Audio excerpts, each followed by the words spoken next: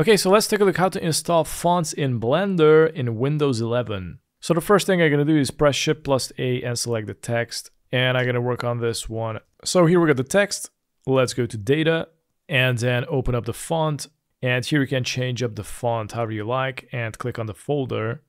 So here you got all the fonts and you also can go and search for the fonts that you like. So I'm gonna type it in here and as you can see, it's not appearing anything.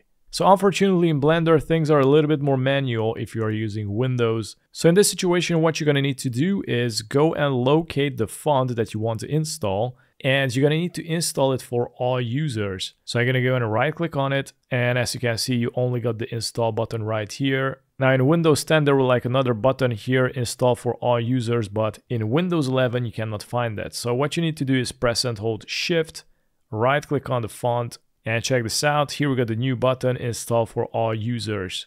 Click on it and now it's gonna reinstall it again for all users. So let's go back to Blender, hit the folder and let's go and search and take a look at that. Here we got the font and I gotta select it, open font and now it's working.